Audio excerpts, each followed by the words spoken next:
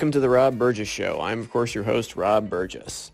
On this, our 220th episode, our guest is me. My first solo episode of the podcast was episode 41. The second was episode 62.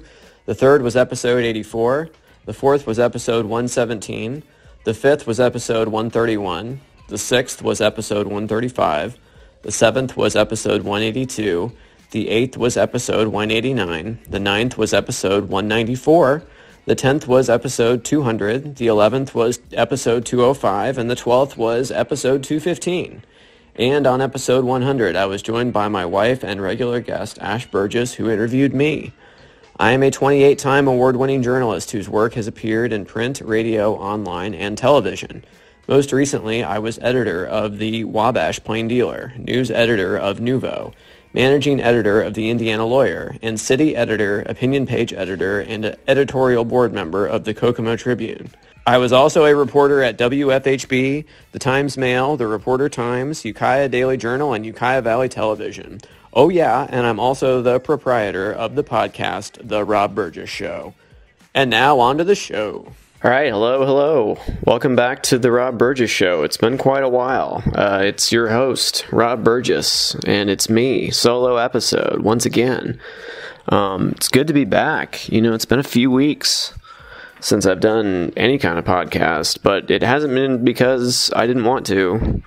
I, I promise. It wasn't. It wasn't for lack of desire my computer that I was uh, using to edit the podcast with uh, suffered an unfortunate uh, mishap when I spilled an entire full beverage right across the keyboard of the laptop. It stayed alive just long enough to allow me to copy off the last of the files I had on there, and, and then it pretty much completely died. Um, I was able to retrieve the hard drive out of it, but as far as having a computer that of mine that could do the editing. Uh, have a Chromebook, but that's not good enough uh, for what I need it for. So uh, I do now have a, a new computer here that's uh, sitting in front of me. So uh, I am able to uh, do the editing now. So I wanted to get this out here. Yesterday, I recorded this entire podcast while I was driving around on my phone, but I didn't realize while I was doing it that because my phone was hooked up to the Bluetooth in my car, instead of recording uh, the audio through the microphone on the phone itself, it recorded the terrible, echoey, barely audible microphone that is installed in the car, which is cool when it's a phone call and I want that to be an option, but when I'm trying to record a podcast was was less than ideal and was not what I was trying to do. So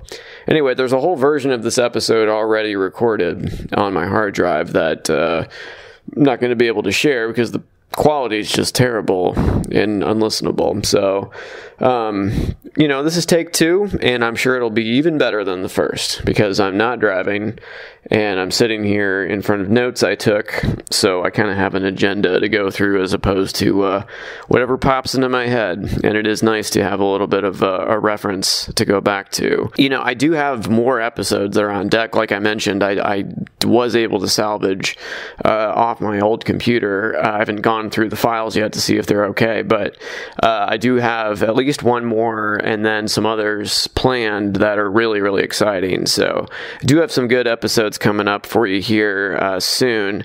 Uh, the other reason for the uh, the big hiatus uh, from the podcast was I've had a lot of changes in my uh, personal and professional life that I want to tell you about, uh, and I will in the future. that's not really what this episode is about, and I will do a separate episode of that. It's all good things. It's just been a lot all at once, and I haven't even really absorbed it all myself. So I will share all those. That's a little teaser for you you for the future.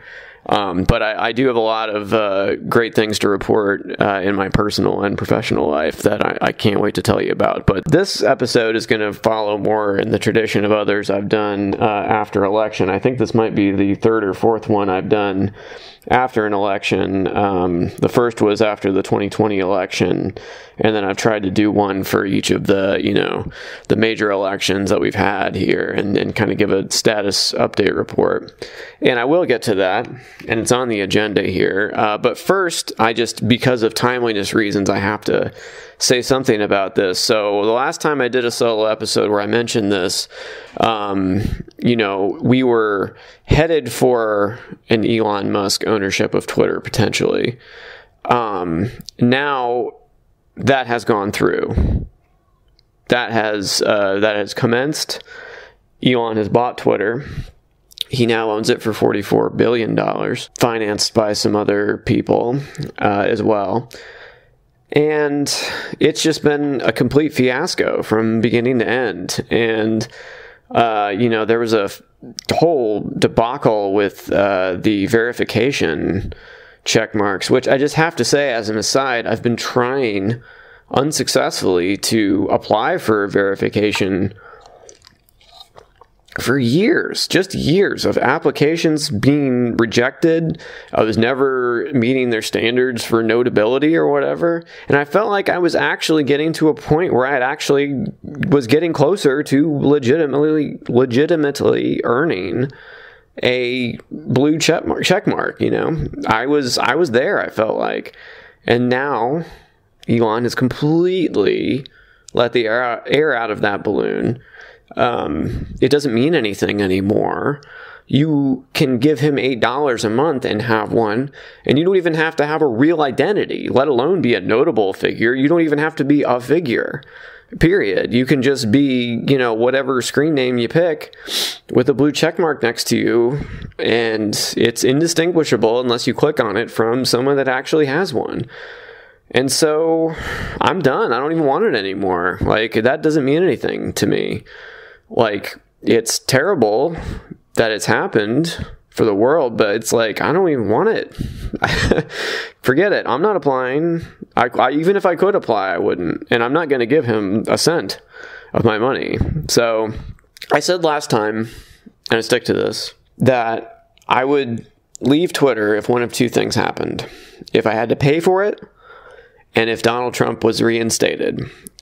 And well, let's go with the paying for it part. Apparently, Elon has been in talks with people around him to put all of Twitter behind a paywall. So, on top of his $8 paid pay for play verification system that doesn't mean anything anymore, he's now going to put the free content that we produce for him unpaid behind a paywall that we would then have to pay to access, I guess. No, that's not happening. I'm not doing that. I'm not paying this guy a cent of my money, and I will stop using the service if that happens. So that's already been advanced. It hasn't gone through yet, but you know, the the way this guy moves, who knows when that'll be going through? Could be any day now, honestly. The other one, Trump reinstated. So here's the thing.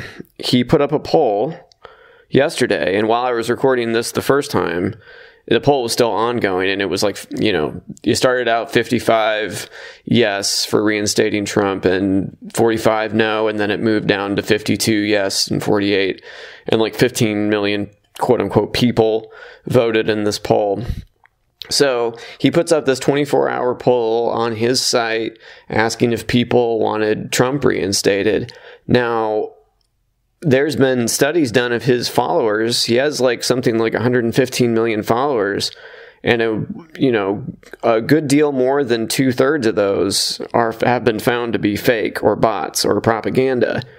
And if the margin is that little in your poll and 15 million quote unquote people are voting on it and 70% of your followers are fake, um, you know, well, I, how much do we trust that?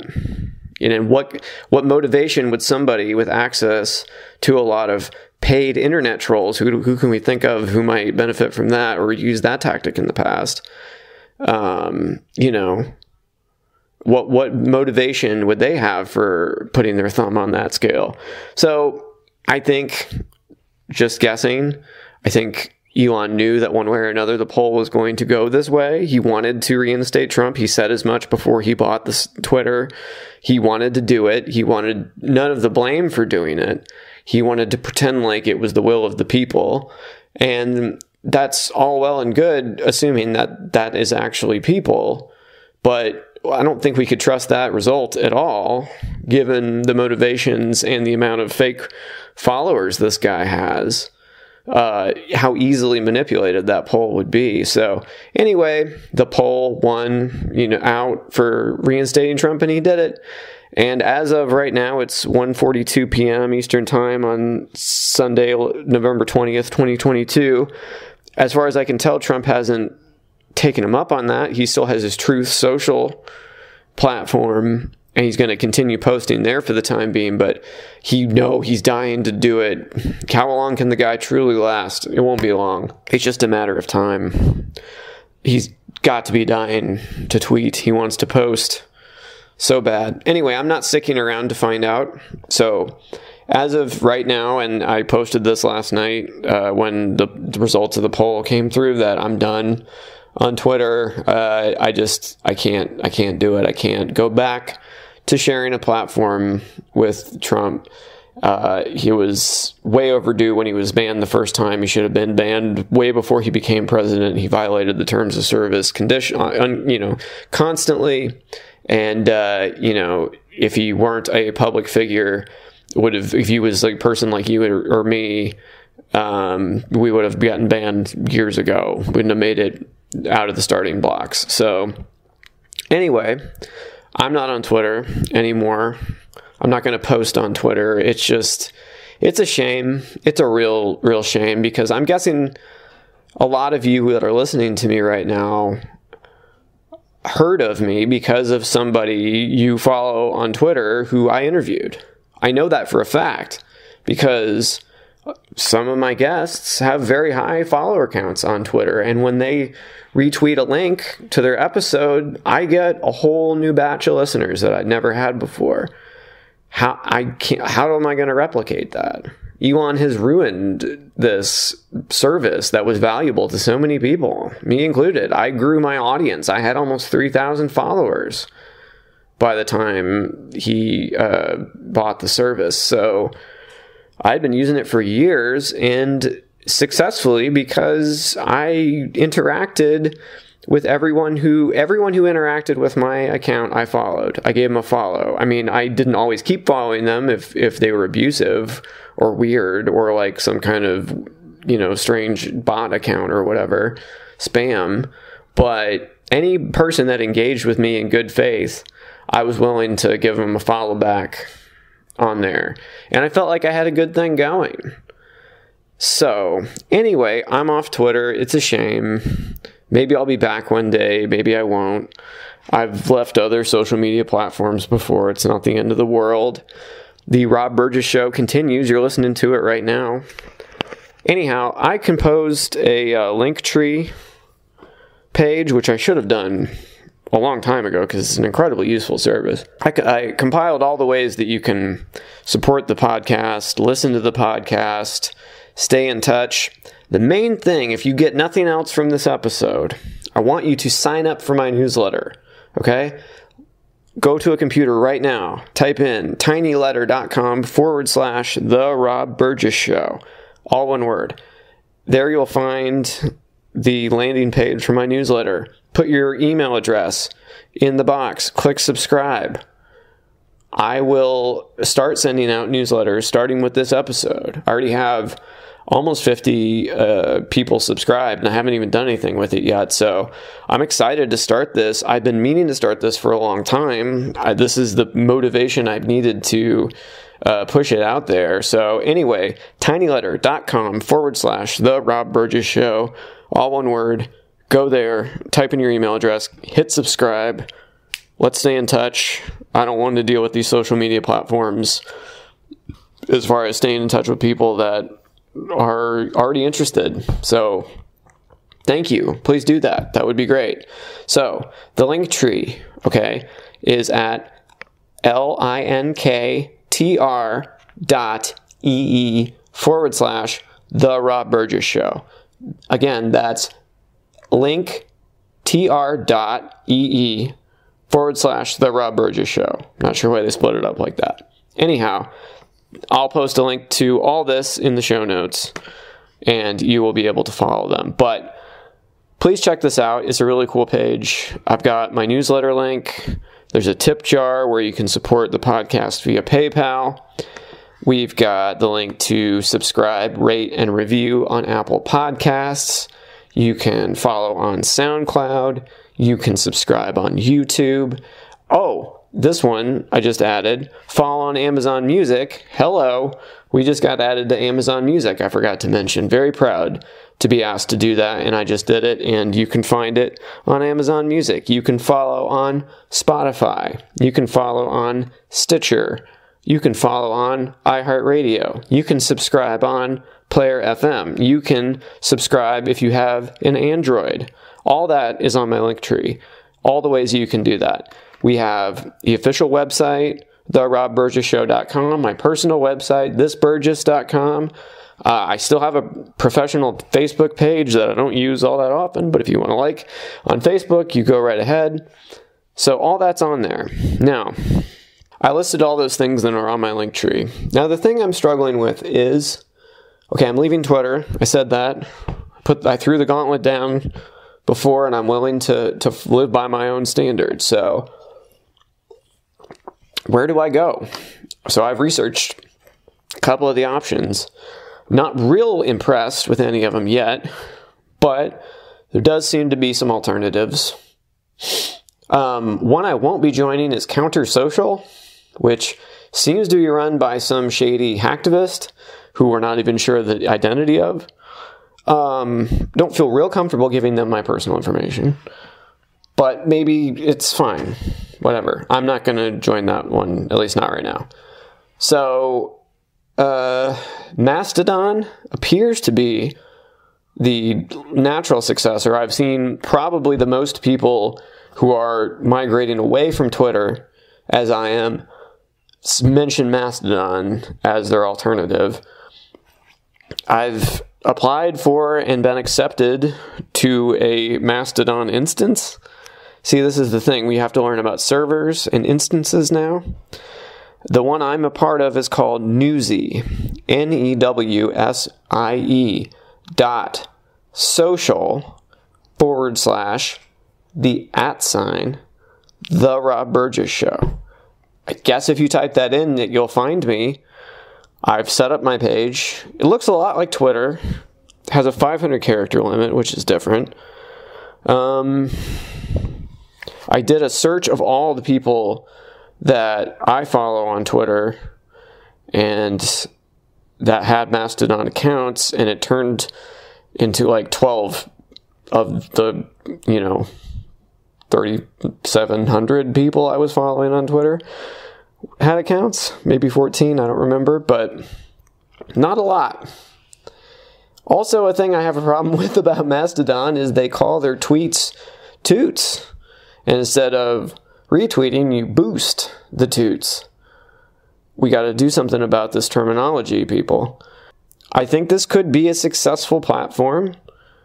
I don't think it's quite there yet. I don't really understand what I'm doing here. It doesn't look exactly like Twitter. It's a little different. Maybe it's good. I don't know. I don't think it's uh, anything is ever going to replace Twitter exactly. It was a once it was a special thing when it was happening.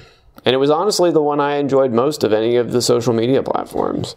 You know, I keep a Facebook page for professional reasons, but if that weren't true, I would have quit that site long ago I have an Instagram, but please don't follow me on Instagram. I'm, uh, you know, I'm not available there. It's not my, it's not my platform. I'm not joining TikTok. I don't think. Not interested. Snapchat passed me by. I'm not doing that one. You know, I said this jokingly on Twitter back when I was saying things on Twitter, but you know, we were we too quick to my, to abandon MySpace? I don't know. I don't know. That would be if if MySpace had continued to this day in, in a real way, and I think my profile's out there somewhere, but not really, I don't think you can like friend me or put me in your top eight anymore. MySpace were still a thing now and Twitter failed, I would actually seriously propose MySpace as the alternative. Although, another dearly departed uh, social media platform, Google Plus, Google Plus could have just hold on for a couple, years after it did they might be sitting pretty right now because I feel like they might they might have picked up that mantle. who knows? Maybe they'll bring it back, but like that would have been a fallback too. I like that Mastodon is decentralized. It doesn't feel like your breach is quite as far. I don't think. I mean, I don't really understand it at all. Uh, it's not. It's it's not. There's not one central thing. You have to sign in via this one server that you apply to join. There was a verification process, but it was real like not put together looking. I submitted my stuff, but who knows where that went. I see some people are verified. Like I saw George Takei already has over 100,000 followers on here, but he's George Takei, you see. I'm not George Takei. I'm just, see, that was the thing. I built my audience on Twitter organically. No one knew who I was before I started posting there. And that's another thing. Like, I can post my links to my stuff on Twitter all day, but like, people are staying on Twitter for the most part. I've lost a good 50 followers since Elon took over, but the majority seem to be there. So, I don't know. It's a complete mess and it's a shame. And I wish he had bought a different website or none at all. Or just go be rich somewhere. Why do you gotta, you know, why you gotta do this? All we wanted was an edit button. That's it. I asked for that for years and nothing. So it goes. So it goes, as Kurt Vonnegut, who celebrated his what would have been his hundredth birthday recently, said once. We are now into what brings us together today for the midterm election roundup. So this was predicted because of inflation, because of gas prices, because of historical headwinds in a midterm election against the sitting party in power, a, a red wave of, you know, tsunami coming crashing down all across the country. That didn't materialize nationwide. I think it's important to say that from the outset. I think the Dobbs decision had a lot to do with that. Um, not everywhere and uh, really not in some places where I was told were either swing states or becoming swing states, or were in the past, but not looking very swingy any, anymore. Uh, Texas, wow, Beto really got beat bad for governor. Tim Ryan in Ohio lost to J.D. Vance in the Senate. These weren't close. Okay, it wasn't by a couple hundred votes or anything. This was, you know, big margins. And, you know, let's get to Florida. Florida, DeSantis. He really ran the table, you know? And I think his political star is rising, and I think the Murdoch empire is trying to promote him as the next standard bearer for the, he's the golden boy for the Republican Party as far as I'm concerned. If he wants to go into battle with Trump during the primaries, because Trump announced, as we'll talk about more later in the episode, DeSantis, you know, I think he's young compared to Trump, and I think he could wait, but I don't think he's he wants to or that he's going to, because I think he knows that he's at the peak of his political power right now. So I think that he is. There's no way he doesn't run. I think. I could be wrong. Been wrong before. It's happened. But I think that Trump's ego will not allow him to be usurped. So I think they are both going to go for the brass ring. I think that's going to be ugly. And I think the best case scenario for anyone that doesn't want any of those two to be president would be if DeSantis got the GOP nomination and Trump split the ticket by running as an independent and then whoever the Democrats put up, be it Joe Biden or whoever, would coast to victory. So we'll see. But I would say it's more likely than not that DeSantis is going to run for president in 2024. And so obviously is Trump. And there will be a bruising primary battle that will, even if one of them wins out and the other one doesn't run as an independent, I'm mostly thinking of Trump here, uh, they will be so damaged by that fight that they might be a weakened general election candidate. I don't know. We'll see. It's early days. But yeah, wow. Wasn't even close in those. And, you know, Tim Ryan and Beto were were real heartbreakers because if you've listened to the podcast before, you know I have a lot of criticisms for the Democrats as far as messaging and campaigning and connecting with voters, but I thought Beto and Tim Ryan ran admirable campaigns. And they just got shellacked, and I just don't know what they could have done differently. I mean, that is something I do want to explore, you know, in states going forward where you know it looked like a little more swingy and now it doesn't look so swingy anymore and what what's gone wrong and what what's the path forward because I do think that they did a good job. Um, now, obviously, this is not all doom and gloom for the Democrats. I don't mean to say that at all. They flipped a Senate seat. Fetterman beat Oz, and he was unabashedly progressive. I'd like to point out and pugnacious and took the fight straight to uh, the you know, Dr. Oz and really poked a lot of holes in his credibility. Hammered him, even through having a stroke, which I thought was impressive. Gretchen Whitmer in Michigan flipped the whole, you know, state government upside down. It's all Democrat control since 19, first time since 1983. So that's another thing. Sarah Palin got beat again. She can't stop losing up there in Alaska. So there are bright spots for the Democrats. There's it was a better than average night. That's if you look at the Senate and some governorships. Now let's look to the House. Oh boy. Republicans flipped it. Maybe not by much, but they did. And as if we've learned anything about Republicans, especially at the congressional level, is that they don't need huge margins to affect great change. The Democrats always seem to need a few extra seats for your for your Joe Manchins and your Kyrsten Sinemas, but not Republicans. They know how to. If Republicans don't know anything else, they know how to fall in line. What's the saying? Democrats fall in love and Republicans fall in line. I think there's some truth to that. I think it has to do with why people are Republican or not. I think if you're Republican, you're more corporatist minded. You're more willing to get behind a message and, and, and push the team over the finish line, whatever sports metaphor you want to use. So, yeah, they did it. It wasn't fair. There was gerrymandering. We had a redistricting process that was inherently unfair in many states. And, you know, lest we forget, New York, from what I'm reading, may have cost the Democrats the House and they tried to have redistricting reform. There's a uh, article that I'm reading from the Brennan Center. Uh, it's called "What Went Wrong with New York's Redistricting." I encourage you to check that out. I'll put a link in the show notes. Um, basically, they tried redistricting perform- reform um, in 2014. It, it didn't really work out. Um, there was a whole process where maps were redrawn.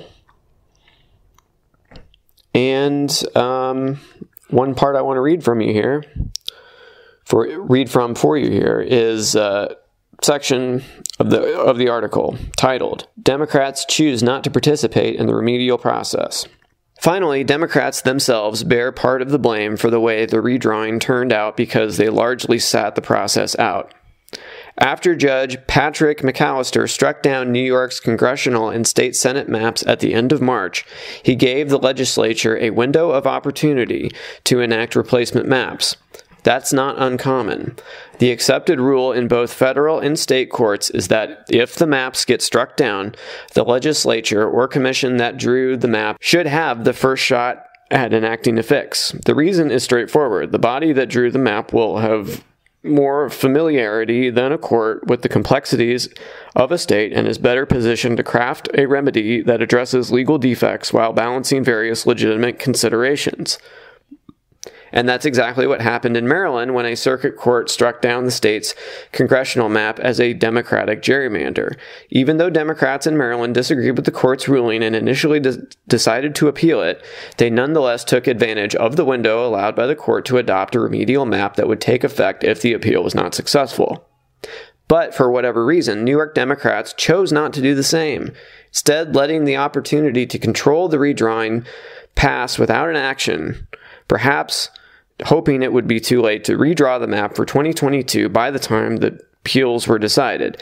They then took an equally aggressive line when it came time to submit proposed maps to the special master, offering a map that made very nominal changes to the one found to be constitutionally infirm and none at all in key areas like New York City. That was their right, but by refusing to redraw the map themselves or offer reasonable alternatives, Democrats left the door open to a more re- radical reworking of the map. So, anyway, that's from that article. Please check it out. It's worth reading, it's worth knowing about. I've been writing about gerrymandering for over a decade. It's kind of become a pet obsession of mine uh, because it is so crazy that politicians pick their own voters and that the process isn't formalized. It changes from state to state. And if you really want to get upset, listen to This American Life, episode 784 it's called Mapmaker, Mapmaker, Make Me a Map. This is about the redrawing of districts in Ohio and the process by which they went to the polls in Ohio, mentioned Ohio earlier, uh, with unconstitutional maps. And uh, that was a crazy making episode to listen to. So please listen to that, read that article, educate yourself on this process. It affects us all. And uh, it's a really important issue that I've been beating the drum on for quite a no- number of years. And it's not the most, you know, uh, horse race interesting topic for people, but it's so important. So please understand how redistricting and gerrymandering is putting the thumb on the scale. In this case, because a lot of these state houses were Republican in the in the hands of Republicans, Democrats have done this too in the past, as we've heard even in that article. I said that Democrats had done it too. It's just that Republicans have been more successful at it lately, and they're not interested in, in changing that because they, you know, they started out this race, even though the Democrats flipped a seat in the Senate in their favor, and they may get a one more vote majority than they had before if Warnock wins in Georgia in the runoff next month. And so you know, it's it's just inherently an unfair process, and there's better ways to do it, and we just haven't done it yet for reasons that are obvious in this country. So, anyway, it's just a really upsetting thing because Republicans have flipped the House, even though if you took percentage wise who voted which way just by straight up uh, majorities, uh, a lot of these states would, would have a more even congression, congressional delegation because, but because of stacking and cracking districts and concentrating voters of, uh, you know, color in places where their votes uh, don't infiltrate other districts or by diluting that vote by splitting them in between different districts and, and making it so their impact isn't felt quite as much and having these long snake-like looking totally uh, you know don't look like anything other than they're trying to pick their own voters and don't have anything these districts don't have anything to do with each other. Uh, these maps it's it's just yeah. I could go on all day about gerrymandering and redistricting but you should educate yourself because it's super important topic. Just a lot of heartbreaking results in the house Boebert, Gaetz, Marjorie, Marjorie Taylor Greene, all reelected, heading back to Congress. Wow, okay. And Marjorie Taylor Greene, no longer the outsider, being brought into the big tent fold by Kevin McCarthy, hopeful, uh, you know, at least for he hopes, the next Speaker of the House. Yeah, this is not the fringe. This is the party now. This next two years is going to be a waste of time it's going to be so depressing to watch all this. You know, we're going to hear about Hunter Biden's laptops and uh, how the January 6th detainees uh, who stormed the Capitol are political prisoners who are being mal- mistreated and boohoo.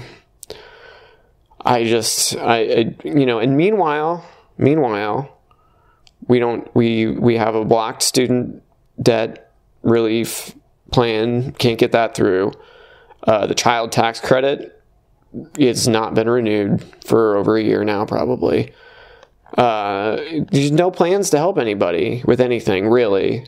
Just grievance, petty, you know, tit for tat. You know, they just, they're going to impeach Biden, not for any reason, just because they're going to impeach him for something. Uh, it doesn't matter for what, as long as people who aren't paying attention think it's all the same because Trump was impeached legitimately twice, they're going to find some reason to do it so that the person who doesn't pay attention is just like, well, one side did it and the other side did it, and who knows who's telling the truth? You know, who can say? So that's all they want. Just want to muddy the waters enough. It's depressing. There's so many real problems that need urgent attention that could be addressed by Congress, and they're just not going to be because there's no interest on the Republican side for fixing anything. There's no future in that for them. It's if things are bad while Biden is in the White House, good, fine. Have, they have no incentive to make it better. They don't want it to be better. They'll complain all day, every day about the high gas prices and inflation, but they've got no plans to give you extra money. There's no stimulus coming for you. You know, it's just what you you just get this steady, steady diet of fake outrage about nonsense issues that don't affect you. And that's what we're going to have for the next 2 years at least. So, to be continued. Last thing I want to touch on current event wise. Okay, so Merrick Garland this week, I think it was Thursday, announced he was appointing a special counsel to investigate Donald Trump. Okay. I said this on Twitter when I was still saying things on Twitter that there was a window in between the election and a week later when t- Trump submitted paperwork and formally announced his bid for 2024 where none of the excuses that I've been told for the last couple years as to why we cannot, right now, indict Donald Trump. Okay, so there's three reasons I've heard. You've heard them too. You could probably say them before I'm even going to say them. Number one, can't indict a sitting president. It's number one. Okay, heard that all through the 2016 to 2020 time frame. Sitting president can't indict them. Okay, DOJ memo, just an opinion, but you know, everyone said that, including Robert Mueller, who punted on it, said we can't indict, just took it as a given. Okay, I don't agree with it. It's your rule. We'll live by it. All right, fine, fine, fine. No sitting president indicted. Whatever. Okay, that's number one. Number two, we can't indict Trump before an election. And that's any election, apparently, even if it's a midterm, when he's not on the ballot and there's no presidential on the ballot. Even during that, you can't do it. Another DOJ opinion. Okay? Again, I don't agree with it. As I said, he's not on the ballot. He hadn't technically declared his candidacy. But to avoid the appearance of being political, I'm sure Hillary Clinton would like a word, especially given what happened with James Comey days before the 2016 election. Okay, I say that's their rule. Like I said, I don't buy it, but it's your rule. That's what you said. Okay, we'll go by that. Okay, so number one, sitting president. Number two, election proximity. Okay, those are your two reasons. Number three, third reason I've heard we can't indict Trump. You can't indict an active political candidate in this country. Okay? Again, I don't agree with it. I think you can. I don't think there's any rule that says you can't. However, some people don't think that's kosher. Okay. Again, I don't agree with any of those that I just listed, those three. I think you could have indicted him anytime during that time period. There's been many excuses given as to why that can't be no matter what. Okay. During the time period between November 8th, Tuesday, November 8th, 2022, and Tuesday, November 15th, 2022, none of those three things applied. Okay? Those excuses that I heard over and over again do not apply during that time period. He's not the president. It's the election's over, the midterms happened, and he's not actively announced. He's acting like it, but he has not actively announced that he's running for president in 2024, so he's not an active political candidate. None of those apply. Merrick Garland saw everything we saw, including the January 6th commission, which proved that he was bilking his followers for money for a fake, you know, election integrity fund. hello, is that not a crime? So we all saw the crimes in public, self confessions. Can't stop telling about what he did. So pick one, just pick any of them. They didn't indict during that time because I believe at this point that they never were going to. They announced a special counsel, I believe, to let people down easy about their decision not to indict. So he can pass the buck to the special counsel, and then when the special counsel says that we can't do it for whatever reason, they can be like, well, we went through this process. What else do you want? I didn't make the decision, the special counsel did. That's what I think. I'd love to be proven wrong. There's not a Bill Barr here to shade the results. Biden is the president and not Trump during this time. I feel if they were going to, I don't, again, don't agree with appointing a special counsel here, but if they were going to, why not do it during that window that I described? Why wait till after he announces? You now give them cover. I, again, I don't agree with it. I think you can indict him anytime, personally. But if we're going to play along with their rules, these make them up rules, and we're going to follow them, okay. Active political candidate, he was not prior to the 15th when he announced. You could have still said, This is an American citizen who broke the law. We're going to prosecute them because no one is above the law, and these laws apply to everyone, no matter who you are. That is not true. I believe he's above the law now, from what I've seen. I would love to be proven wrong. But he has been committing crimes in public for 50 years. Remember that New York Times story about his taxes and inheritance and all that stuff. That never, there was no consequences for that. So, anyway, I'd love to be proven wrong. I hope that I'm wrong. I hope there's some semblance of the rule of law in this country. But I think they're just afraid. I think they're scared of what will happen if they actually bring the hammer down. But I think the danger grows if you don't, more than if you just pull the mandate off and do it. So, anyway, that's my opinion on that. Please sign up for my newsletter, bringing it back to our first topic. If you take nothing else from this episode, please do that. I want to communicate with you without social media. So, one more time tinyletter.com forward slash the Rob Burgess Show. My Linktree, L-I-N-K-T-R dot E-E forward slash The Rob Burgess Show. I am sort of on Mastodon at Newsie Social forward slash at sign The Rob Burgess Show. N E W S I E dot social forward slash at sign The Rob Burgess Show. All right, stay in touch, please even without Twitter, we can make connection. we can do it, I promise. I would be back with you very soon. Thank you for listening.